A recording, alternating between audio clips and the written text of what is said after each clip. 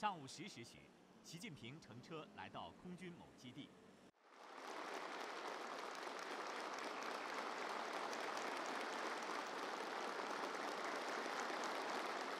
在热烈的掌声中，习近平亲切接见驻甘肃部队副师职以上领导干部和团级单位长官。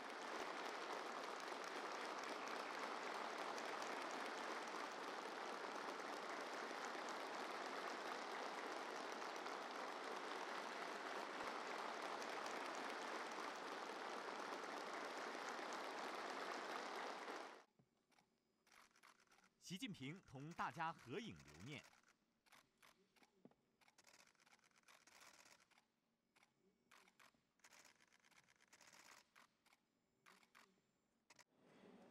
作战指挥中心内，官兵们紧张有序工作着。立正！注意，同志，基地作战指挥中心正在值班，请指示。按计划进行。是。习近平来到这里查看值班席位，听取有关介绍。详细了解战备值班和训练情况。习近平通过视频查看了基地有关部队。现在官兵生活啊，工作啊，情况怎么样？报告主席，近年来各级党委高度重视基层建设，大力推进冰心工程，山上条件有了很大改善。目前各项保障能够满足各种条件下。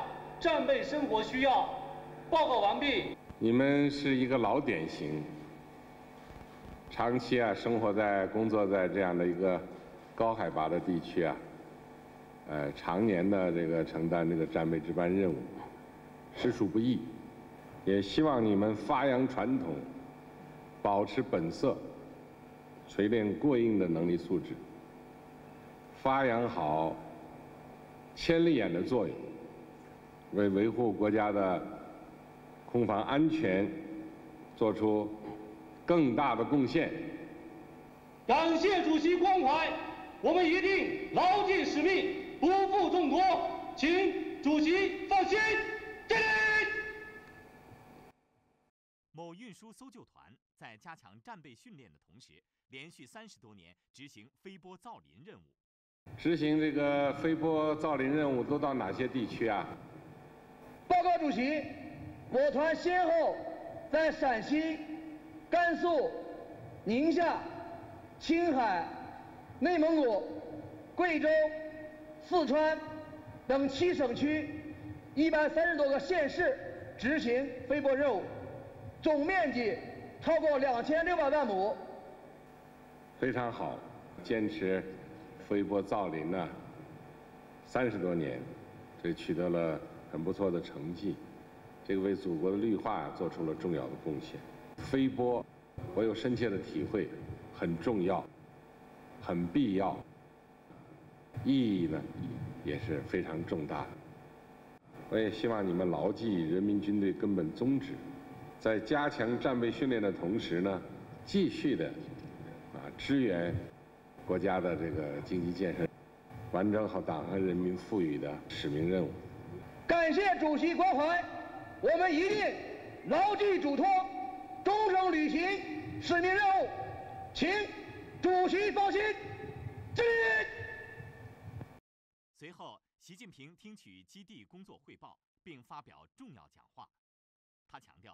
在新中国成立七十周年之际，开展不忘初心、牢记使命主题教育，加强组织领导，确保主题教育取得实实在在的成效。